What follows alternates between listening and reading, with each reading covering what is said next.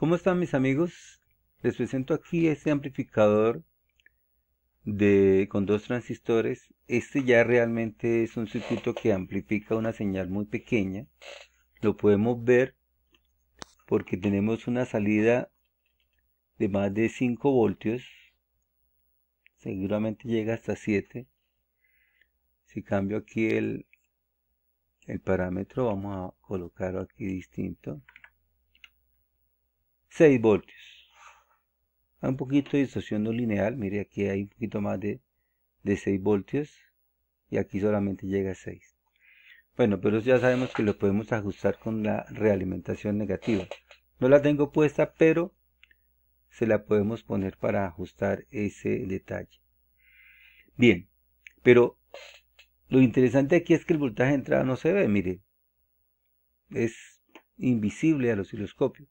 Para poder hacer eso voy a tener que cambiar los parámetros del osciloscopio para poder ver de cuánto es la señal de entrada. Pero antes de seguir no se les olvide suscribirse, darle like, activar la campanita, compartir, etc. Bien, vamos a desconectar la señal de salida y vamos a poner en el osciloscopio aquí parámetros realmente pequeños. Aquí estoy en 7 voltios, pongámosle un voltio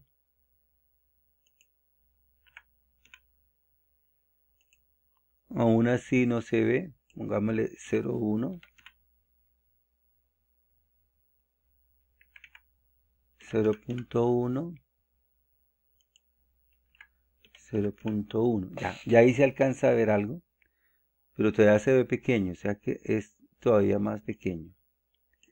Ahí alcanzamos a ver mire la señal es de menos de 10 milivoltios, o sea, estamos hablando de 5 milivoltios.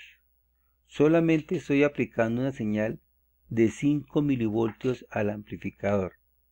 Bueno, pudiera colocarle más, pero mm, si le pongo más se, se, satura el amplificador. Entonces, si yo pongo la señal de salida aquí, pues no se va a ver bien, mire. ¿Qué va a suceder? Se va a ver que la señal se sale de la pantalla del osciloscopio. Pero es claro que tenemos 5 milivoltios. Pudiéramos poner más y yo reduzco el valor de esta resistencia, pongámosla en 5K. Ahí ya la tenemos más o menos de 12 milivoltios, pongámosla de 2K. ahí ya está alrededor de 20 milivoltios. Pero, ¿qué pasa con la señal de salida? La señal de salida se nos va a saturar. Veamos por qué. Voy a volver a colocar aquí 20 voltios de parámetro. Mire, evidentemente la señal se está saturando a, eh, positivo y en negativo y también tiene distorsión no lineal, no lineal. Entonces vamos a bajar el valor de la señal aquí con este potenciómetro hasta que se vea la señal bien. Ahí está. Realmente de 5 milivoltios que estamos aplicando, estamos obteniendo 5 voltios. O sea, estamos amplificando la señal. Sería por 1000. O sea, la ganancia de este amplificador es 1000. Los dos amplificadores me dan una ganancia de 1000. Esto ya realmente es algo que nos da obviamente una señal amplificada con solo dos transistores. Es importante obviamente eh, hacer la corrección de la amplificación no lineal, pero lo voy a dejar así para este video. Estamos obteniendo obviamente ya una ganancia significativa usando este circuito. Aquí voy a correr el osciloscopio para que se vea bien todos los valores, por si alguien lo quisiera montar, los valores de, de los elementos del amplificador. Estos son voltímetros, no son necesarios conectarlos, yo los he conectado para mirar bien la polarización. Si yo desconecto la señal de, de entrada, entonces puedo ver, mire, este lo tengo en voltaje colector emisor de 16.2 y el voltaje colector emisor de 15 voltios. Eso lo ajusto con esta resistencia. Este es un reóstato que me permite ajustar la polarización ideal del transistor.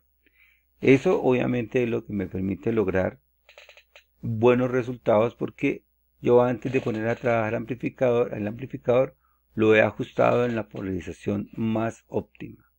Entonces, aquí esto lo podría reemplazar por una resistencia de 120 ohmios o una de 520 las dos.